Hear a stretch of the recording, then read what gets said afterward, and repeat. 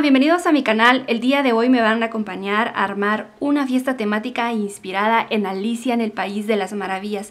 Como pueden ver aquí en mi mesa ya tengo el kit impreso, les voy a enseñar todos los elementos que contiene este kit. Recuerden que este kit lo pueden encontrar en unafiestabonita.com y es un archivo digital PDF que pueden descargar y pueden editar los textos. También si quieren aprender a diseñar estos kits de fiesta, les voy a dejar aquí en la cajita de información mis cursos con los programas de Illustrator y PowerPoint. Ahora sí, vamos a iniciar. Les voy a enseñar la guirnalda. Como pueden ver, aquí están los banderines que nos van a servir a armar la guirnalda. Eh, ustedes pueden imprimir las veces que quieran. Aquí está las caritas de los gatitos que en inicio las diseñé para complementar esta guirnalda. Es que los vamos a recortar y las vamos a colgar en forma de guirnalda. Si ustedes quieren lo pueden poner en paredes para decorar mesas. Ya cada, queda en cada quien cómo decorar la fiesta. Acá viene una hoja, pero pueden imprimir las veces que quieran.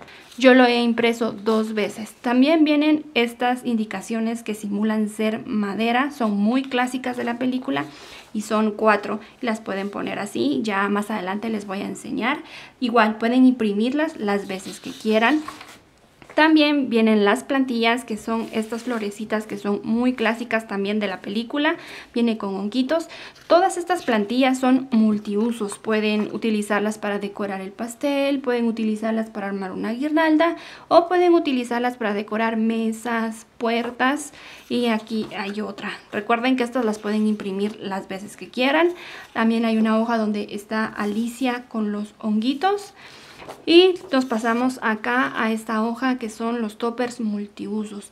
Los podemos utilizar para poner en la comida con palitos de madera, podemos imprimirlos en papel sticker y colocarlos para cerrar bolsitas, para decorar cajitas, ya quedan cada quien como los quiera utilizar.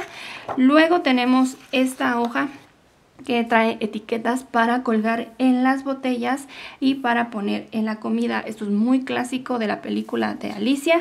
Y por último, esta es una novedad que voy a empezar a ingresar en los kits de fiesta, que son láminas temáticas. Estas láminas engloba todo el diseño del kit de fiesta y los pueden eh, pegar simplemente en la pared, pueden enmarcar, enmarcarlos y la ventaja de esto es que se puede reutilizar para decorar pues la, el cuarto del cumpleañero o de la cumpleañera y bueno, ya les enseñé el kit de fiesta, ahorita voy a pasar a recortarlo. Como se lleva muchísimo tiempo, lo voy a hacer en cámara rápida. Luego de esto les voy enseñando cómo vamos poniendo todos los elementos.